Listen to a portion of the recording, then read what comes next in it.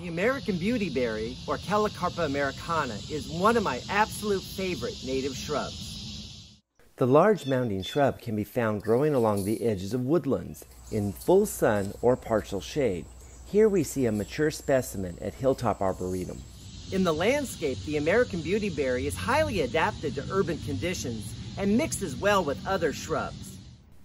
Many specimens can be found across campus, including Julian C. Miller Hall, Renewable Natural Resources, and here at the Journalism Building.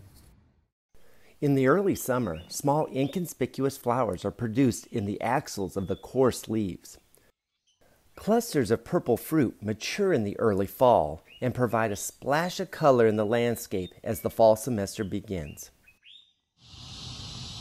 The fruit puts on a show in the fall, but there is always a question whether or not this fruit is edible.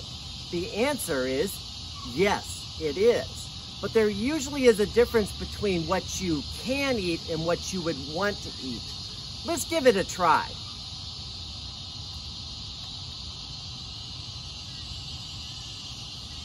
That is disgusting. A jelly can be made from the fruit that proves by adding enough sugar to anything will make it taste good. One other quick note.